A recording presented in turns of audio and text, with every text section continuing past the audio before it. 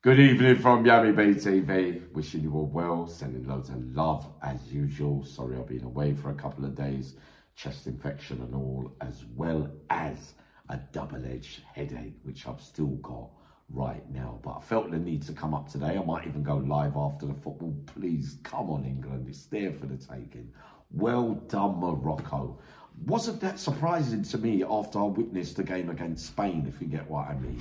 They play some good, good football.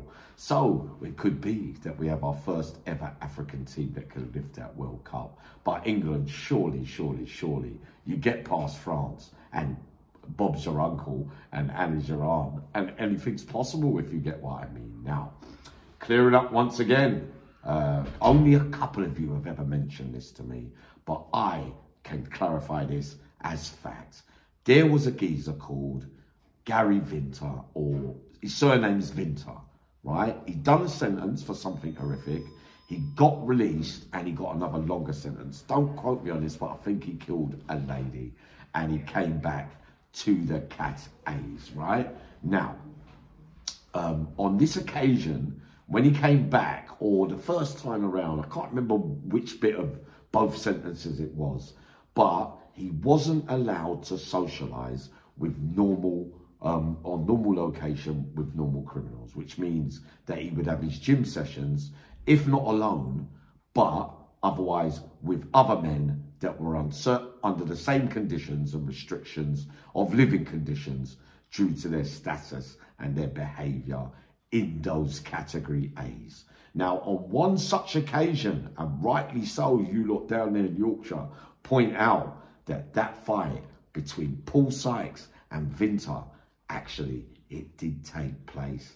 And it took place during a session where him, um, Paul Sykes, Vinter, and another man was there as well, right? Now, he tried to creep up on Paul Sykes with a weight, right? Whether it was a Z bar or a dumbbell, but the other person in the gym, Paul, shouted Paul, and Paul moved out the way, and the weight missed and dropped on the floor.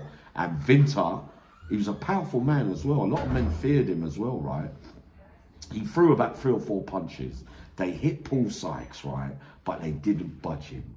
Paul hit him with two punches, two or three combination punches, laid him out. The PIs didn't know what to do, and Paul jumped all over his head, right? So that story is absolute fact as well, right? So oh, I forgot about that one. Well, well done you lot, two of you for for mentioning that to me about when they had their clash. But that's how that clash went. Now you're asking me about Kevin Thacker.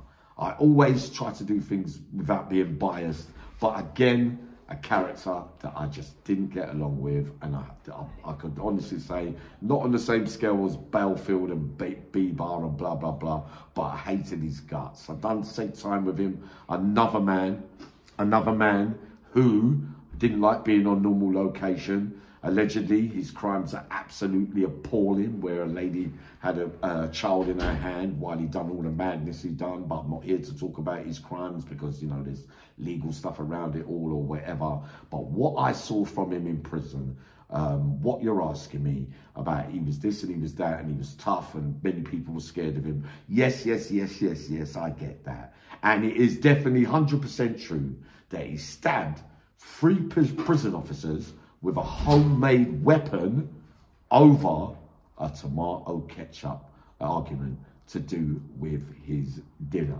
How about that then? And also, I clarify today that it was in fact you, Kevin Thacker, that spreaded the rumour that our Charlie Bronson was racialist, which we all know could never ever be true. But those are the things that happen down seg windows when arguments are taking place and people tell this that he said that and they said this. We know how it works, if you get what I mean.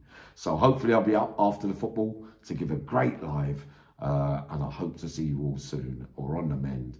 But I love you all dearly. And yes, I'm, I'm, no, I won't even promise, but I'm hoping to come up later on tonight. Sending loads of love to you all.